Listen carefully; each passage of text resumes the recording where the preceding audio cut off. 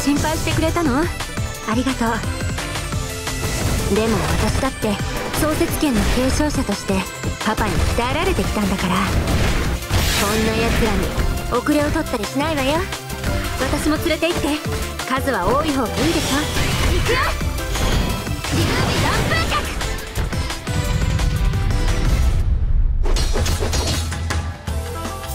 脚立ちふさがるならば容赦せん終わらせる。